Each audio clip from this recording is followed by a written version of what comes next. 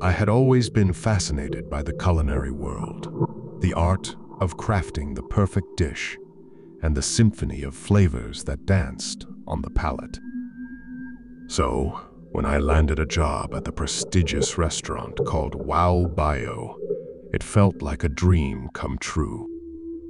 The restaurant was renowned for its exquisite cuisine and impeccable service.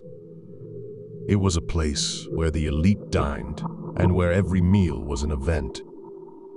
Little did I know that my journey there would lead to a nightmarish experience that would haunt me for the rest of my days. My first day at WOW, Bao was filled with excitement. The chef, a tall, imposing man named Chef Laurent, had a reputation for being a perfectionist. He ran his kitchen with military precision, and I was determined to prove myself worthy of working alongside him. As I donned my crisp white chef's coat and entered the kitchen, I was greeted by the intense heat of the stoves and the cacophony of clanging pots and sizzling ingredients. Chef Laurent's roaming voice echoed through the kitchen, barking orders at the kitchen staff. It was chaos, us, thus strange beauty in it, a rhythm that I quickly became entranced by. Over the weeks, I owned my skills, working my way up from peeling potatoes to assisting the sous chef with more complex dishes. The other kitchen staff, a tight-knit group, welcomed me into their ranks. We became a family, united by our shared love for the culinary arts. But as I settled into my role, I couldn't help but notice the peculiarities of Wow Bao. It wasn't just the demanding customers or the high-stress environment. It was something deeper, something that seemed to linger beneath the surface of the restaurant's opulent fayade. The ambience of Wow Bao was haunting in its own right. The dimly lit dining area was adorned with antique mirrors and plush, red velvet curtains that seemed to absorb the very light in the room. The flickering candlelight on each table cast eerie shadows that danced on the walls, giving the impression of ghostly apparitions. It was as if the restaurant itself was holding on to secrets, and I was determined to uncover them. One evening, as I was preparing a delicate salmon dish in the kitchen, I overheard a hushed conversation between Chef Laurent and the restaurant's ensemble Olmus and Sinclair. Their voices were low, but I strained to catch their words.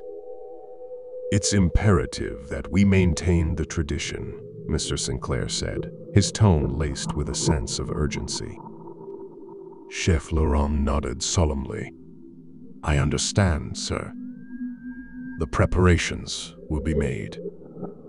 I couldn't help but wonder what they were talking about, what tradition they were so adamant about preserving. It was a mystery that gnawed at the edges of my mind. As the weeks turned into months, I became increasingly aware of a sense of impending doom that hung over Wow Bao. It was a feeling that was shared by the entire kitchen staff, but no one dared to speak of it openly. We went about our duties in a state of silent dread, our movements precise and efficient, but our eyes constantly scanning the shadows. Then came the night that would forever change my life. It was a stormy evening, rain lashing against the restaurant's windows and the wind howling like a banshee. The dining area was unusually empty, and the atmosphere was thick with tension. I could sense that something was different, something was off. Chief Laurent called a meeting in the kitchen, his face grave. He addressed us with a solemnity I had never seen before. Tonight, he began, we must prepare for the most important service in the history of Wow Bao. The guests will be special. They must be treated with the utmost respect and care. Follow my lead and remember, the tradition must be maintained. We nodded, though none of us had any idea what he meant by the tradition. The kitchen was a whirlwind of activity as we prepared for the evening service. Each dish was meticulously crafted, every ingredient measured to perfection. As the evening progressed, the restaurant filled with an eerie sense of anticipation. The guests who arrived were unlike any we had seen before. They were dressed in black, their faces hidden beneath dark hoods. Their eyes, however, were piercing, and they seemed to watch our every move with an intensity that sent shivers down my spine. The tension in the kitchen was palpable. Chef Laurent's hands trembled as he plated each dish, and the kitchen staff moved in silence, our eyes darting nervously between the orders and the hooded figures in the dining area. Then it happened. One of the hooded guests, a tall figure with a long, bony hand raised a finger and pointed towards the kitchen. Chef Laurent froze, his face drained of color. The rest of us turned to see what had caught the guest's attention. There, in the corner of the kitchen, was a small ornate door that none of us had ever noticed before. It was carved with intricate symbols and seemed out of place amidst the stainless steel appliances and gleaming countertops. The hooded guest rose from their seat and glided towards the door, their movements unnaturally smooth. Chef Laurent stepped forward, his voice shaking. I'm sorry, but that area is off limits, he stammered. But the guest ignored him and reached for the doorknob. As they turned it, a cold, otherworldly breeze swept through the kitchen, extinguishing the flames on the stoves and causing the candles to flicker violently. In that moment, I felt a presence, a malevolent force that seemed to emanate from the door. It was as if something ancient and dark had been awakened. The guests stepped through the door, and it swung shut behind them with a resounding thud. Panic gripped the kitchen as we rushed towards the door, but it refused to budge. It was as if the very walls of Wow Bao had sealed us in with our fate.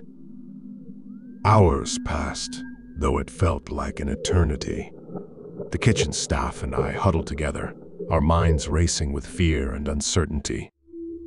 What had happened to the guest who had entered that door? And what was the tradition that Chef Laurent had spoken of? As dawn broke, the door finally creaked open, revealing an empty kitchen. The hooded guest was gone, leaving behind an eerie stillness. We rushed to the dining area, but it too was empty, devoid of any sign of the hooded figures. Chef Laurent was a broken man, his eyes haunted by what had transpired. He spoke of the tradition, of a pact that had been made with a dark force long ago. The hooded guests were the keepers of that pact, and Wow Bao was their vessel. I left Wow Bao that day, my soul scarred by the horrors I had witnessed. The restaurant continued to operate, its doors open to the elite, but it was no longer the place of culinary excellence I had once admired.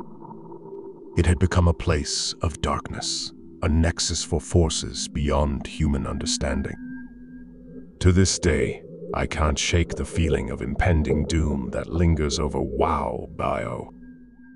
I often wake in the dead of night, drenched in cold sweat, haunted by the memory of that fateful evening and I can't help but wonder if the restaurant's tradition will one day come calling for me to claim my soul as it has claimed so many others.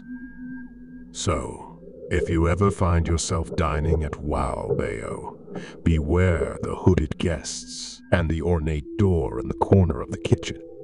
And remember, not all nightmares involve the paranormal.